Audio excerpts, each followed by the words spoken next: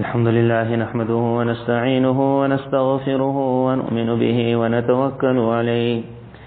ونعوذ بالله من شرور أنفسنا ومن سيئات أعمالنا. من يهده الله فلا مضل له ومن يضلله فلا هادي له. ونشهد أن لا إله إلا الله وحده لا شريك له. ونشهد أن سيدنا ونبينا وحبيبنا ومولانا محمدا عبده ورسوله صلى الله تعالى عليه وعلى آله وأصحابه وبارك وسلم تسليما كثيرا كثيرا. أما بعد فقد قال الله تبارك وتعالى بعد أعوذ بالله من الشيطان الرجيم. يريدون ليطفئوا نور الله بأفواههم. والله متم نوره ولو كره الكافرون. اللهم صل على سيدنا محمد وعلى آل سيدنا محمد كما صليت على إبراهيم وعلى آل إبراهيم إنك حميد مجيد. اللهم بارك على محمد وعلى آل محمد كما باركت على إبراهيم وعلى آل إبراهيم إنك حميد مجيد. اللهم ألهمنا مراشد أمورنا وأعذنا من شرور أنفسنا. Before the demise of Rasulullah sallallahu alayhi wa sallam, there was always going to be the fear that after the wujud of a Nabi amongst the people, when Allah's Nabi sallallahu came to the Arabs, it was called revolution. It came in a time where people were cutting and burying their own daughters. Mothers were understanding that I will give birth. There was a time in the time of Musa alayhi salatu wasalam that a mother was giving birth and the army of Fir'aun was killing the child. But then the Arabs reached a time that the father was the one killing the daughter. So the mother would give birth and she would understand that this child is not going to survive very long. There would be few times where the father would be out on the journey and the mother would give birth and she would understand if I have to say to the man, this is your daughter, he'll kill the girl. So when the time would come when the father would return from the journey and he would find a girl in the house, he would say, who's this girl? So she had to make a story that another woman gave birth. And she was so scared that her father, meaning that husband, will kill the child. So she left the young girl by me. And then the father himself will say, amazing how people can kill so lovely children. Just because it wasn't his daughter. Then he would look after the girl. Then he would show love to the girl. And a time came when the mother really felt that now if I break the news, she found such an attachment with the girl and the father, such an attachment. She said, if I break the news to him now, now he will never kill that girl. He himself said, amazing how people can kill this girl. And then the mother would take the chance and she would say to the father, وَإِذَا بُشِّرَ أَحَدُهُمْ بِالْأُنْثَى Allah Ta'ala says, when they would get the message of a daughter, ظَلَّ وَجْهُ مُسْوَدًّا Their faces would become like black, angry, disgraced. This is called old stories. Quran came to destroy old stories. When we were young, we used to hear if a teaspoon falls on the ground, then it means some visitor is coming. Then we would hear if a mirror breaks, it means you will get bad luck. We would hear if a cat has to go past, then you're going to have an accident. And we would hear if a cat cries at night, we would see the people also throwing a stone at the poor cat. They say, why? They say, if the cat is crying, tomorrow someone's going to die. That poor cat was giving birth. And he's wondering what that man is throwing stones on me for. We grew up in that. But when Quran came, it came to break all of that. ظل وجهه مسودا وهو كظيم يتوارى من القوم من سوء ما بشر به Now he would hide his face from the people. That everyone's going to laugh at me. You're the father of a girl. Whereas there was never a disgrace in that. أَيُمْسِكُهُ عَلَى هُونَ أَمْ يَدُسُّهُ فِي التُّرَابِ Must I keep the child and be disgraced my whole life? Rather I bury the child in the sand. Allah Tabarak Ta'ala says, when shaitan made an evil act lovely for them, how terrible it was, how lovely it looked. That father would walk with that young girl now. The young girl was so attached to the man. As they're going, he said, where are we going now? Where are we going? Then the man starts digging the ground. Then the young girl is helping him dig. He narrates later on in his life to Rasulullah the favor of Islam. He said, she helped me to dig her own grave. And then I put her in the thing, and she really thought it's a game. And I started filling it, filling it. And she remained smiling till the ending, understanding that definitely at the last moment I'll pull out. He said, I don't know how I did it. Allah Ta'ala says, Allah sa'ama yahkumun. What a world it was. But then Quran came and revolution took place. Allah's Nabi, Allah's Nabi came, people cried on what they did. They realized what they did. Now came the time on the demise of Rasulullah sallallahu that the same thing was going to happen again. Shaitan was going to make Muzayyan smart for the world, filth and dirt. And if there was no light to break through that, then when the fitna, the evil of modernism would come, everyone would become modern. How the world would dress, we would dress. When they would say to the woman, wear clothing, woman would wear. When they would say to the woman, take out clothing, everyone will take it out. And you see it happening in the world. There was a time in the Christian world when not a Christian woman would walk around without a scarf. But the Christian church with all its power and might could not stop that fitna of modernism. When that fitna entered, it entered the church. It collapsed the church. Today the church will announce that for a boy to marry a boy, it's allowed. Girl marrying a girl, it's allowed. The church, the Pope's own daughter will be walking around without clothing, naked. The church wasn't able to push it away. No other faith was able to push it away. But there was the thought, how would Islam ever manage to put it away? When shaitan could bring them to that brink, that the man could kill his daughter and be happy about it. Today we have the world called open abortion. It is so booked, overbooked.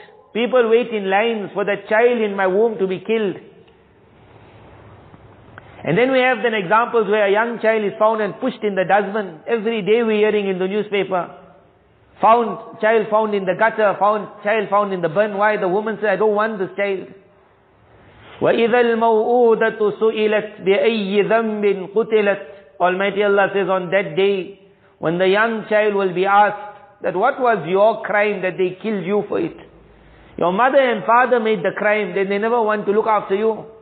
وَإِذَا الْمَوْءُودَةُ سُئِلَتْ When abortion is taking place, Allah's Nabi mentioned after four months, soul is blown into the child.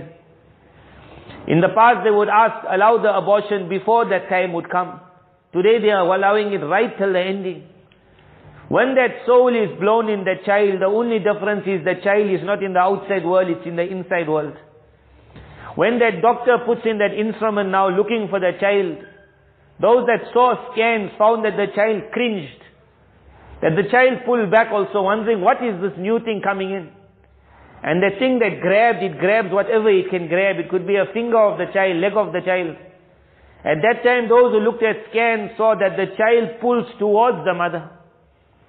As though the child is saying, the only one who can save me now, mommy, is you. Doesn't understand that it's mommy who's murdering the child.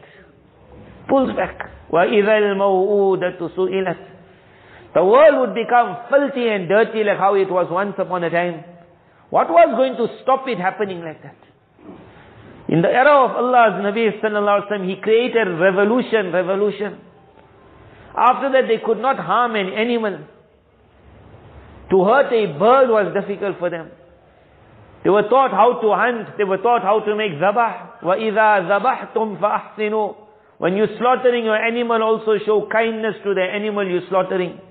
From a level where they kill their own daughter, to a level where they had to have feelings for that sheep and that goat also. That even if you're going to put the knife, make sure the knife is sharp. Make sure the animal doesn't see it. Make sure you put the animal down quickly. Make sure very fast you slaughter it. The animal must feel no pain from what a level they were to what a level he took them. But then there was that concern that on the demise of the Nabi of Allah, sallallahu alaihi wasallam, we also should one day reach where the Arabs of the past reached. That we would also be killing our daughters. Abortion would also be amongst us. Filth and dirt would also be with us. Bashing our wives would also be our trait. Rasulullah sallallahu alaihi wasallam then mentioned that I am leaving behind for you two things. He said one is a silent lecturer, advisor for you. And one is an evident and open advisor for you. When he said, I am leaving behind these two things, it was such a statement that it means these two things, no matter what effort the world will make, it will manage to remain with the ummah till the ending. And it will manage to continue creating revolution till the ending. The first thing he said, silent lecturer but very loud. He said it's the lecture of death. The story of the Qabristan, that story when someone passes away and everyone is crying. Just last week someone got married, everyone was smiling. And then we are all at the Janaza house the following week. And everyone is crying. But that wasn't the bayan of the Qabristan. That wasn't the bayan of the death. The bayan of the dead, you get it when you visit the grave. Or when you think of the grave. Women are not allowed or not advised to go to the graveyard, but they're told think of the grave. And men are told visit the grave. Many people ask, what do I do when I go to the grave? For me, it's I'll go and read some dua for my father, my mother, they passed away. I'll read Kul Huwallahu Ahad three times. The purpose of visiting the grave is two. Number one is to remind us that we also going. And number two is to remind us that somebody already went. As soon as we get the reminder number two, someone went, it means my father went. So during the next week, my father needs me to think about him. But I'm in such a world of the modern world, fast world, I'll forget about him in one week. I'll go back to the graveyard, again I'll get the reminder, oh my son, I'm here in the water. Don't forget me for one week. Every time I go to the graveyard, the dead man is giving me a reminder, don't forget me. I don't need your kul wallah three times once a week. I need you every day to think about me. Because every day I want to enjoy a new feeling of that world. But the first message is, I'm also going. The world made an effort to break this death. And it affected many of our people. They created a perception of death that to die is bad. That to die is scary. That to die is a thing you don't want to. Find the best doctors, find the best hospitals, find the best medicine. No matter what you can do, push away that angel. That don't ever come to me, I don't want to die. Why? Because when I die, I'm going to prison, I'm going to jail, I'm going to be locked up. Allah's Nabi sallallahu alaihi wasallam left what was called a revolution. It was called the Sunnah of Muhammad sallallahu alaihi wasallam. Whoever it reached, that person saw that the greatest gift, tuhfatul mu'mini al-maut, the greatest gift Allah has ever given a person is the gift of death. But no one will understand it. So when you go to a house where people are crying, my father passed away, then we explain to them, you're allowed to cry for two reasons. Reason number one, you're going to miss your father, no problem, cry. We say, but it seems you people are crying because you're thinking your father, poor father. He's all alone. What is going to do there? And then we explain to them, if you can understand what is death, it's a gift. It is the ending of all worries. It is the ending of all fears. It is the ending of all sicknesses. It's the ending of all pains. It is the opening of a prison which we are living in. But because our mind never told us there's another world, we can't imagine. When the child was in the womb of the mother, he thought this is all Allah's Nabi said, my best example I can give you of death is the example of the child in the womb of the mother. While he is there, he thinks this is the beginning and the end of it all. He can never believe there could be something out of this. But when that child comes in this world and he sees the world, he will never be ready to go back to that womb. When death, the gift of death will come to any of us. After that, Allah's Nabi said the angel reaches a point and the angel asks that believer, you want to go back in the world. There's your wife, there's your child, there's your sister, there's your brother, there's your father, there's your business. And every believer says to a world of sickness, poverty, fear, I'll never go. Once I'm out of that prison, why I must go back to the prison? Another world starts. It's not that graveyard that we see. There is a world whoever will go to the grave and he will stand at that grave and think that my journey is going to begin soon. It is a journey where we are entering that world. In that world we will either be blessed with the mirror of paradise, may Allah give it to us all, or we might see the mirror of Jahannam, may Allah save us from all. If it is the mirror of paradise, and may Allah make it is our mirror of paradise, angels will immediately come down. They will have sheets of Jannah. They will open a window of Jannah. They will say to the person, that's your paradise, enjoy its smell for a while, you're tired. But we are opening the windows, relax. But that's not the end. Then you will wake up in that world. Then angels will take you for excursions into paradise. Every episode will be another world.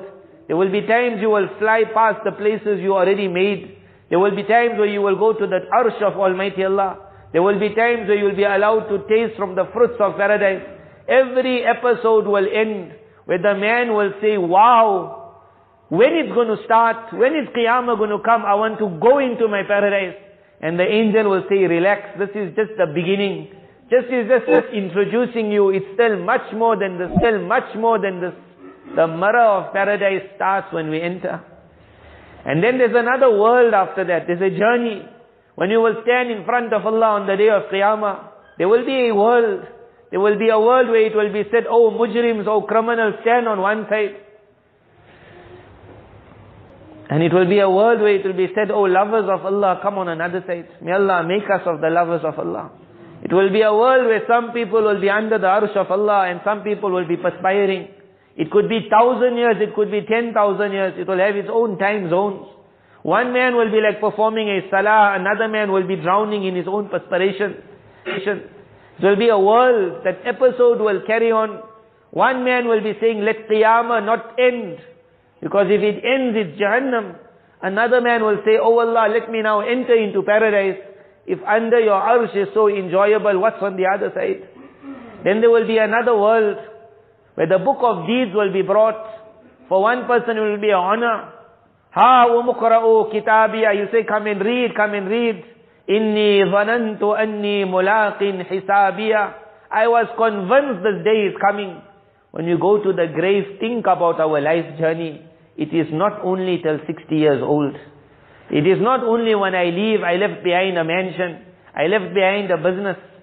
When I stand by the grave, that grave must tell me, do not become involved in the trap of modernism. Do not become in the trap of a lie. Do not become entrapped in the trap of the world. The computer will show you what a lovely world. Holidays will show you what a lovely, money will show you what a lovely world. But the grave will tell you that your holiday is not going to help you on the side. And your money is not going to help you down there. And your business is not going to help you down there. And that child and that wife that which you died for is not going to help you down. Every time you stand by the grave, it is come to break this fitna because of the message of the grave, Allah Ta'ala has protected the Muslim Ummah. Abortion has never come into us and Allah save it never comes. Many of our women, no matter how modern they come, a time comes where someone passes away in their family and that's when they cry and they cry. Then they open the Quran. Then many of them after that will say, I lost the, the desire to live. Now you say, let's go for a holiday. They say, what must I go for a holiday for? That message of death is a unique message. Every one of us when we go and stand by the grave, think about this. That that grave is giving a message. Someone's already gone. He needs you to think about him. And somebody is also coming. That's me and that's you. Every time I stand at that. That is why when you go to the graveyard, first visit the graves which are already closed. And read a little bit for all of them. But what's the dua you read when you enter the grave? Assalamu alaikum ahl diyar Salam to you people of the house of this place. This is also a house. Assalamu alaikum ahl diyar min al-mu'minin wal-muslimin. Wa inna insha'Allah bikum lalahikun. Normally why you say insha'Allah? Insha'Allah you say for something you want. Here we are saying insha'Allah soon we also coming. Every time you enter the graveyard you are making the dua, I want to die. Only perhaps we don't know it. Death is a gift. But stand by the grave and think of our journey. Allah's Nabi said, I leave behind you the silent message of death. It's a unique message, but it's very silent. Then he said, I have left behind you what is called revolution of the Quran. This revolution is such, from the demise of Allah's Nabi wasallam, so much of effort was made that if the Quran doesn't manage to reach, the people will never stand firm. If in a hundred years time there's no Quran, it would have meant in a hundred years time there's no Islam. We have touched 1,400 plus years. Muharram started a new year, 1421. That 1421 meant gave a message to the world. That 1,400 years of effort to break this Quran. But this Quran is that flame that doesn't ever go off. It is like one candle that is standing. Think of this power. And then we will end what this Jalsa of Ermelo is. Every enemy that ever came, the height of that group of enemy, what we speak about today, Illuminati and Freemasonry, and you speak about knights and they go on different levels, then you get that one level which is the highest towards the satanic powers. Meet with them, greet with them, talk with them, plan with them.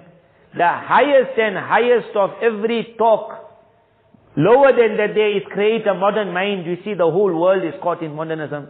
Lower than that day is create one syllabus of education. The whole world got one syllabus. Lower than that is create entertainment. Everyone is mad with the entertainment. Create an internet that pulls everyone in. Create a web that grabs everyone. Create entertainment in the pocket of people and it's going wild. No way in the world is stopping it. On the top, top, top, the message is and make sure that the Quran is removed from the entire world. That is on the top. But because we ourselves will never understand what is the power of Quran, we will never understand why they have to worry so much of the Quran. On the demise of Allah's Nabi sallallahu alaihi wasallam, wherever an attack on the Muslim ummah took place, Quran was the target and the people of Quran was the target. They searched for the Hafiz and they searched for the Quran. Whether it was when the accept, accepted the Muslim world, in that period of 50 years they went through countries. They say Uzbekistan, Turkestan, Pakistan, Afghanistan. Then they entered into Baghdad, Iraq, Bukhara and Samarkand was the land of Imam Bukhari. Everything was wiped out.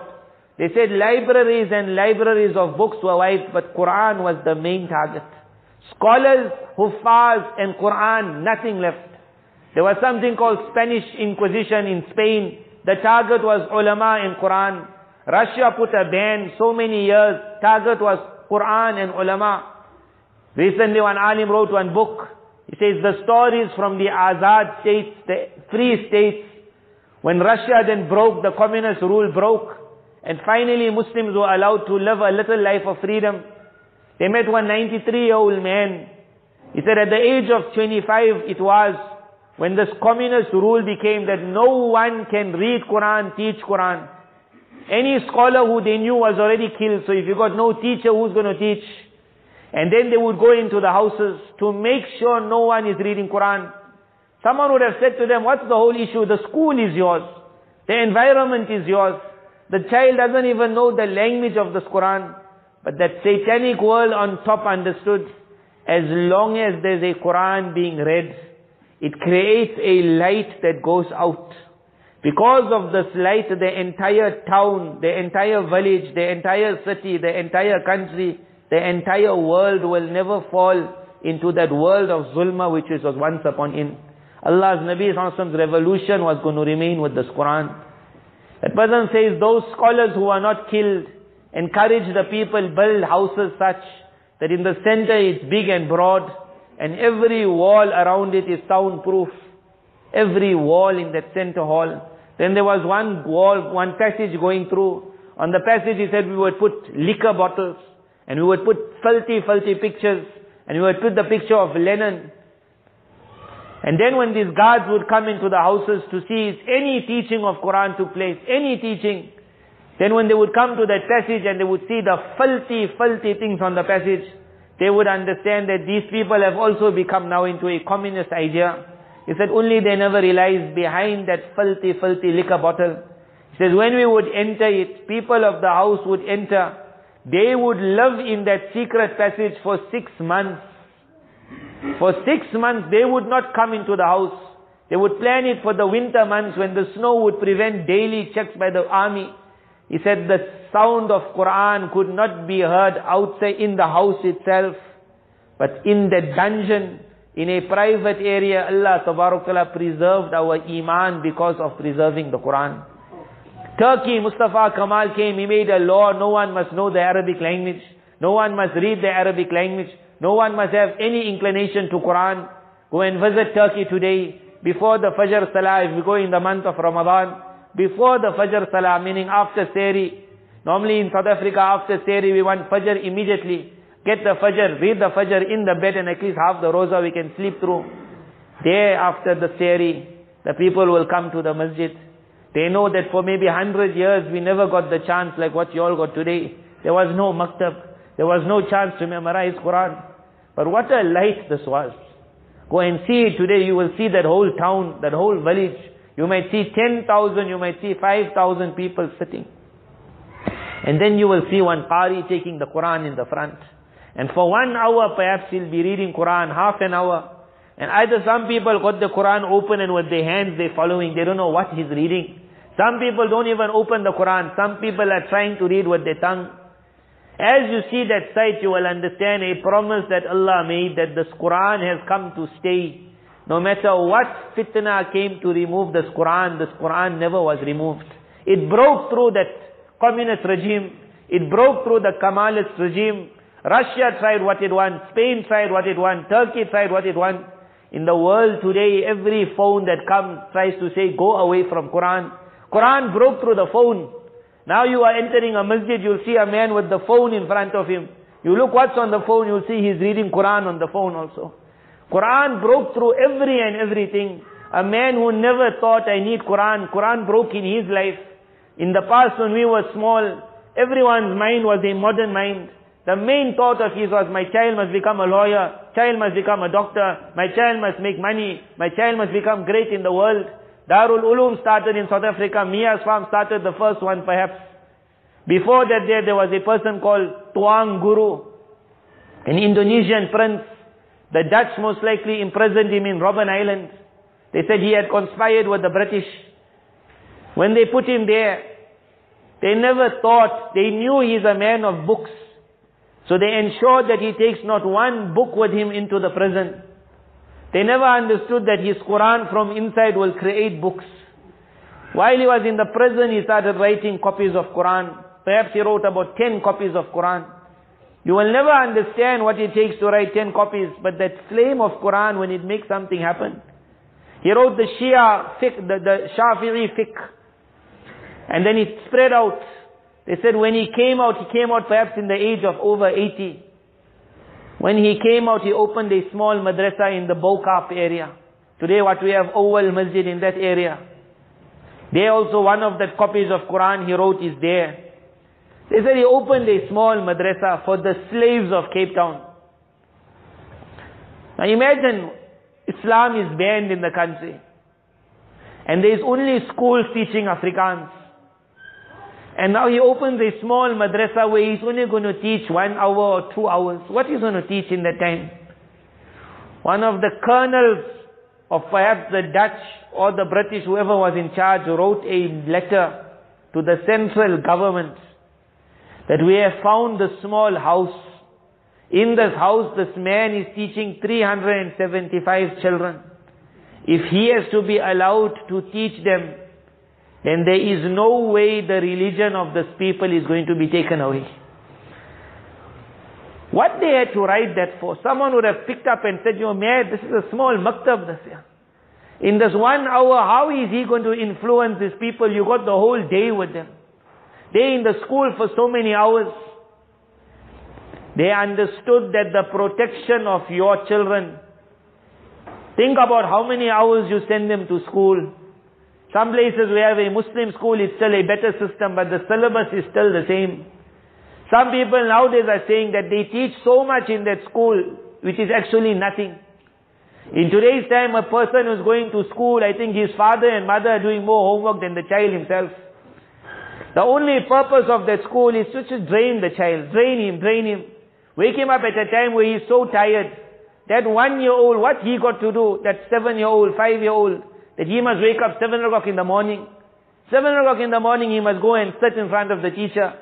What they teach in school could have been done in three hours. But to drain the child, drain the child, drain the child. As soon as you're tired, come into us and we will send you back when you're tired. And we will send you back with so much homework that after that we'll pull you to 8 o'clock, half past 8 at night. Then you will go on the bed and finish, game over. Wake up again next day, wake up again next day. Let us Saturday come, we got some extra activity for you. So much effort was made. Why? So that the child's parents in the ending will say that because school is so important, but I can't oppress my child. So that maktab that is two hours after that is too taxing on my child. He needs time to rest. Really they thought it would happen, but that flame of Quran broke through that also. Forget that child going to maktab for the two hours. When we were small, our friends were Hindus. We used to see after school, they going out to play, but we have to go for maktab. Another two hours, right till asr. They never thought that that flame of Quran will bring that child back into the maktab. It will keep him till hours of five. Forget that Quran broke through that. Then the Hifz system started. The Hifz system was going to say to that young child, forget your waking up seven o'clock for school. You will have to now wake up one hour before Fajr for Hifz. And you will have to come after Maghrib for his. They never thought a father would be ready to say, I'll allow that to happen. But when that flame of Quran started burning, even that was going to happen. It was going to break through so many things. Then you would find that one father who would say, that I don't need my child to be in school, I'll take him out. Take him out for one whole year. What's so important of school? And then suddenly in South Africa we found Hifz classes, full-time Hifz class. We never believed it could be happening, but that flame of Quran. Suddenly you meet the boy, what you doing? Say, I'm doing hifz. What else you doing? Say, I'm only doing hifz of Quran. That flame of Quran started burning. It burnt and burnt. Suddenly that boy said, I only learned to read Quran. I want to learn more. I want to learn the meaning of Quran. To learn the meaning of Quran, there were certain madaris put up. Whoever thought Sheikh Mahmoud Afandi of Turkey at the time on the Kemalist regime had made an effort that no teaching must take place at all. No madrasas must be at all. It must only become European. Become European. Go out and see what is England. Go into the European world. Dress like them. Behave like them. Talk like them. So they would invite him. Come for bayan. He would say to a town, I will come to your town on one condition. That you open a maktab.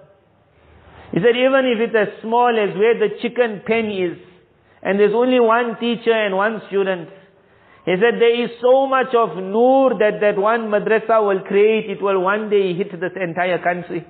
Go and visit Turkey today, you will understand what he meant at that time. Every town he visited, the condition was there must be a maktab there. Molana always asks me when I'm coming to Ermelo, so I said my condition for Ermelo is every time there's a jalsa in Ermelo. One boy graduates, you will never understand that when that Hifz class is taking place in the morning, it is pushing a light out. That light is hitting every house in this locality. You will never understand the power of light until darkness falls. The day darkness falls, people will start killing their wives and their children like what's happening in the world around us. People will start slaughtering their daughters, what's happening in the world around us. Children will just become atheists for no reason what's happening in the world around us. Suddenly when a light of Quran starts, the power of those small boys who are reading Quran, many a time we say, Mubarak to you, glad tidings to you. Rather it is glad tidings to the area surrounding that Hafiz. His reading in that early part of the morning doesn't affect him only. It affects the people sleeping in the beds. It changes minds. It makes more people interested. Some people have come from overseas to Azadville. Some of them said we want to move into this town. We find there's a certain light in that town. We will never understand what that light is. So one person said because there's so many alims in this town, he was corrected. He said so much of Quran takes place in the Hifz classes of this town. Because of that power of Quran, a light is created and it moves and it moves. The enemy understood it and they made so much effort this Quran must not survive. Today when we look in a masjid, look at the amount of Qurans. This is your one Ermelo, think of your masjid. Think about eight boys reading Quran, then Fajr time is coming, more people are reading Quran, it still looks very small. Now join Ermelo with another 10 towns around you. Each one got its maktab. Now there are 700 boys reading Quran now. Now there are 7,000 people reading Quran. Then go a little bit bigger and we now take the whole South Africa. Now we might be going into 70,000 people reading Quran. You might say so many, definitely it is going, now going to the whole world. And you will find into the hundreds of thousands. Before the Fajr Adhan, the word of Allah is taking place in the whole world. Whole world is Quran. And as that boy memorizes or he starts memorizing, that flame has now pulled him that you are also part of this miraculous flame. You have joined the army of Allah. But it is not only for him. When his journey of Hifz started, suddenly that house started hearing more Quran than they ever thought in their life. That boy had to be making dua every day he's reading Quran. He had to wake up early in the morning, the whole family had to wake up or someone had to wake up. He came home at night, he had to be reading Quran. Even if no one else in that house was reading, they were definitely listening to Quran. That is why it said when a boy finishes hifz of Quran, it's a relax for his parents because now they know, hey, he's finished, jalsa over. But for him, it's a beginning of a second journey. Look after your Quran. Had Almighty Allah wanted as a favor from Allah, He could have said, once you finish your hifz, I will make sure you will never forget Quran. Allah could have done that as a greater favor from Allah. Allah Ta'ala said, if you don't carry on reading, I will take away your Quran. Why do we call it a favor from Allah? Because the purpose of hifz was not memorizing. The purpose of hifz was the reading. And as long as that man is scared I'll lose it, he'll carry on reading. So every day that boy, and may Allah make Abdullah in every Hafiz layat, Every day that person will read Quran just in the fear I mustn't forget my Quran. As he reads that Quran, it creates a light. It was before in the masjid only. Now because he's a hafiz of Quran, he might not be coming class every day. Suddenly he's in his house reading Quran. Suddenly he's in his business reading Quran. Suddenly while he's driving to work, he's reading Quran. He goes back in school, you'll see with a small Quran he's walking.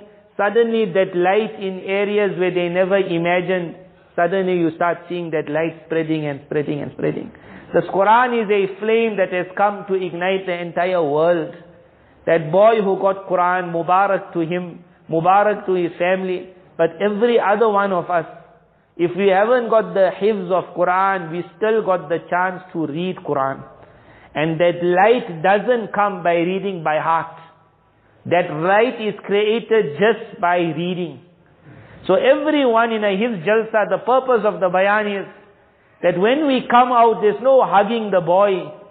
Rather it's thinking that, oh Allah, that Quran 1400 years ago reached me also. So in the day do I also read that Quran. This is that revolution that came, death will speak to every one of us. Quran also came to speak to every one of us. Whoever will read Quran, he will see in his own house that light will start. You don't need lot, you can even read little. Some people feel, I forgot my Quran, let me just stop reading. The purpose of hifz of Quran was not memorizing. It was continuous reading. Even if you have to read inside because you can't remember your hifz, just read Quran. Read half a page, read one page, read 20 pages. It has created miracles from the beginning of time. It will create miracles in South Africa. Whoever will hold on to Quran, his generation's iman will be looked after. His mind will never become an atheist mind. His body will never become a filthy, dirty body. He will find no crave for drugs and filth and dirt. Quran is a light. When it starts, it creates warmth within the body. A lot of people say today that how do we chase away the fitan of the time? The evil of the time. He says, I must buy my child a phone. If I don't buy him a phone, he'll get a phone. He'll go and see with his friends. Must I keep him locked up in the house? He just needs to meet one friend on the outside in the school, introduce him to one drug, his entire life is destroyed. So they ask, how do we push away the filth and the dirt? So the answer is darkness you can't push away. But you can put on your own light. He cold you can't push away. When winter comes, what we do? We don't give a bayan to winter, don't come. We don't make dua that winter mustn't come. But we make sure before winter we put on our own heaters. We create our own warmth, the cold doesn't come in there. The day you put on off your heater, that is when you will start feeling cold. The day Quran will leave our houses, will leave our community, will leave our people, that's the day every one of us will become atheist. We'll become Satanist. We'll become filthy and dirty. We'll become barbaric. The day a light comes on, warmth comes on. Now the cold of winter will not hit that house. You say to a person, eat warm food. Now your warmth is inside the body. Wear warm clothing, your warmth is surrounding the body. Put on a heater, warmth is around you. We beg the world, we put on the power of Quran in your houses. Let a tape be playing with Quran. You come home, read one page of Quran. Say to your wife, you read one page of Quran. Encourage your child, if one boy is becoming hafiz, so much of Quran will be read in that house, so much of Quran that your house will never have to experience the cold of winter entering. It will never have to experience darkness entering. If there is light inside, you will become a light for your own self. You will become a light for the whole town. This is what this jalsa is called. Allah Ta'ala says, فَبِذَلِكَ فَلْيَفْرَحُوا If you want to be happy, be happy with this.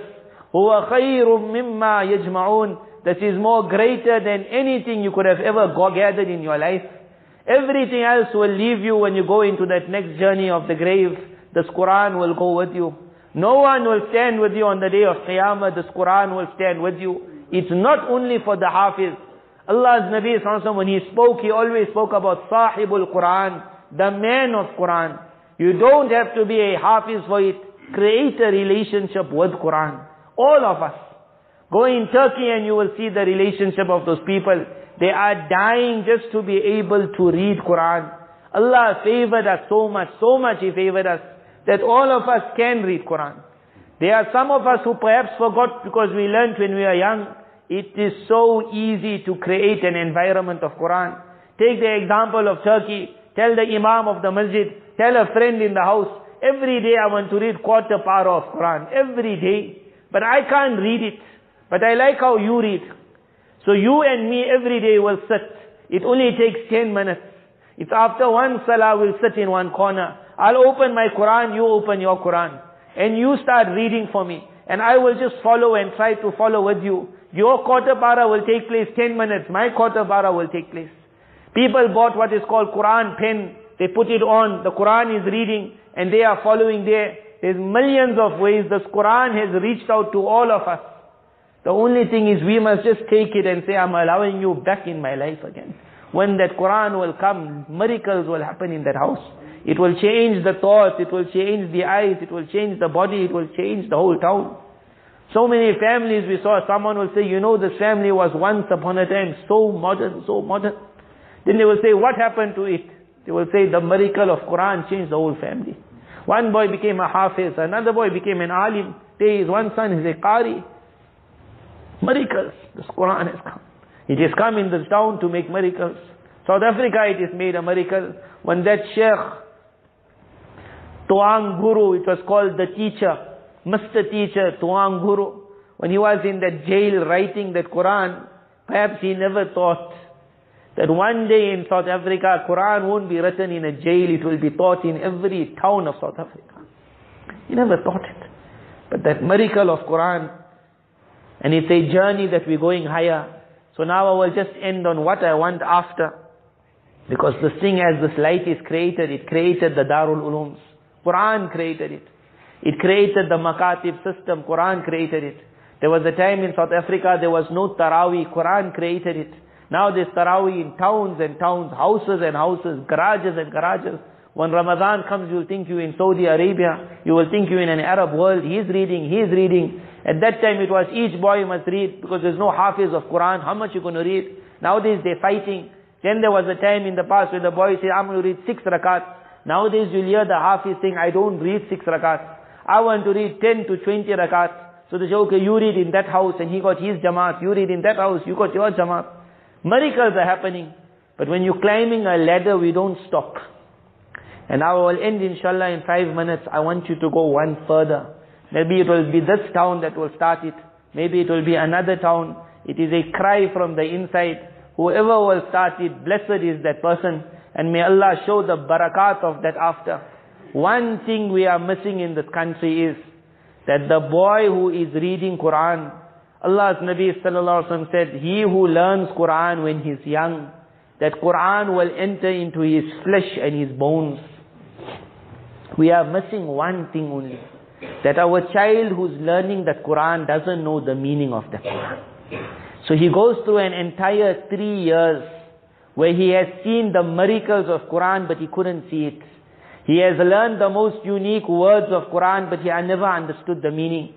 Although it put him so high in the world, during that three years if that boy knew what he's reading. I visited Nigeria. There was a jalsa. A young boy had to read Quran. One verse he chose. This verse got a unique meaning. يَوْمَ نَقُولُ لِجَهَنَّمْ On the day where we will say to Jahannam, Halim tala'ti, are you full? Allah Tabarak Ta'ala will speak to Jahannam, are you full? وَتَقُولُ هَلْ مِن مَزِيد And Jahannam will say, I want more. Normally in madrasa, when someone would eat Lord food, we would read this verse. That we would ask the person, Halim tala'ati, you full? And the person say, bring more. There was one master of the Arabic language, Sheikh Tantawi. He visited Germany at a time where non-Muslims were also learning the Arabic language and mastering it. So they said to him, you really feel this book is like a miracle. What's miraculous about it? So he said to them, you all are masters in the Arabic language. You all describe to me. If I want to say Jahannam is huge, how will you say it in the Arabic language? So in the Arabic language, there's a hundred ways of saying it. Like how in English we will say, we will say, Dubai is unique, Dubai is big, Dubai is extraordinary, Dubai is very huge. That's the most you will carry on, huge, huge, bigger, bigger. Then he read this verse, يَوْمَ نَقُولُ لِجَهَنَّمْ He said, let's see how Allah described the size of Jahannam. On the day where thousands and millions and millions will be burning in Jahannam. يَوْمَ نَقُولُ لِجَهَنَّمْ On that day we will say to Jahannam, Halim tala'ati, are you full? And Jahannam will say, I still got space for more. He said, have you ever find a description like that? When that young boy sat reading Quran, he was only about seven years or six years old. He's our child. He began reading that verses. Normally when our boys will read Quran, Qiraat, and everyone will say, Allah, Allah, he also will be happy.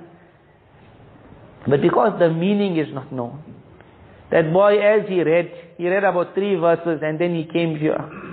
And he read, يَوْمَ نَقُولُ لِجَهَنَّمْ On the day when we will say to Jahannam, Halim tala'ati, are you full? That seven-year-old boy burst out crying. Burst out. I thought it's like one great alim giving a bayan. Everyone was silent. Everyone had a cheer going down. Then again the boy said, يَوْمَ نَقُولُ لِجَهَنَّمْ On the day when we will say to Jahannam, are you full? And again he stopped. And then he tried one more time and the boy just said, Sadaqallahu al-Azim and he went down. At that time I understood what is the power of a boy who learns Quran and he knows the meaning also. But it is not easy for the alim who's running the hifz class to start teaching them that wording of Quran. What my desire is, there are so many alimas now. And there are so many home schools now. And so many people, when the child is young, instead of putting them directly into school, they feel for the first few years, let's do homeschooling. Because in homeschooling, they teach the same thing and they're still saving couple of hours. Only they don't know what to do with those hours. What to do with that hour. If alimas can start teaching young children from the age of four years old the meaning of the Arabic language. When a child is young, he can learn any language, any language.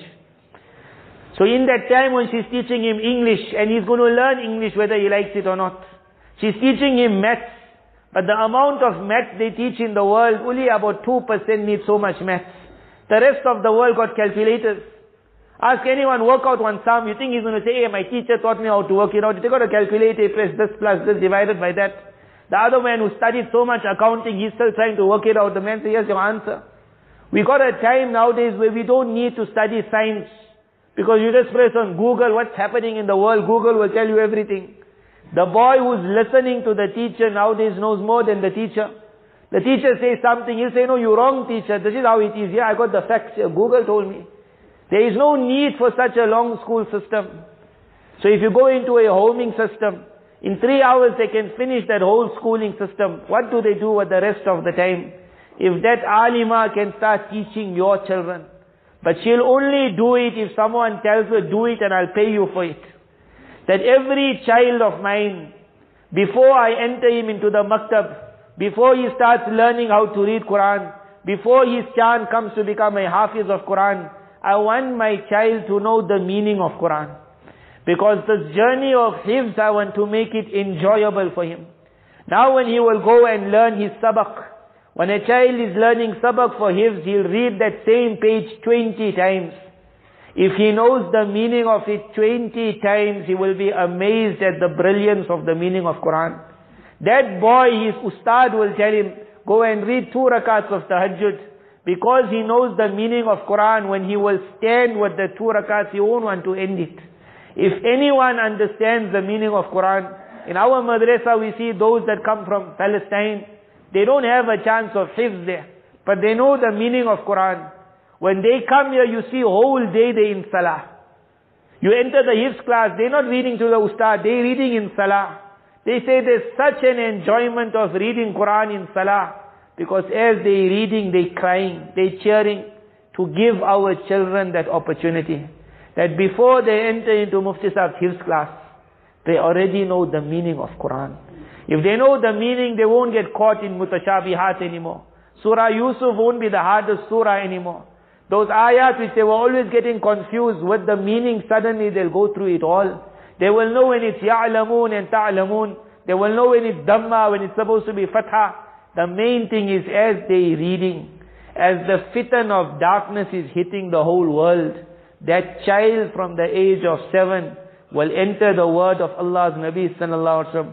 He, that child who will learn Quran when he's young, it will permeate, enter into his flesh and into his bones. Your child, my child, may Allah make them, they will be that child. May Allah Ta'ala put it in someone's heart, put it in everyone's heart, create that opportunity for our children.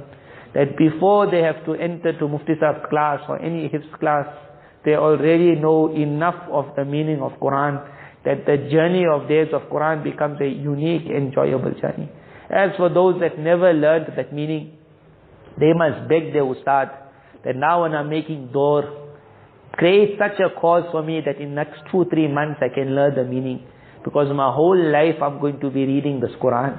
If I know what I'm reading, it makes the letter of Almighty Allah more and more enjoyable. May Allah Ta'ala create this reality. We have come so far in South Africa. Our Hifz classes have come so far. Tajweed has come so far. Qiraat has come so far.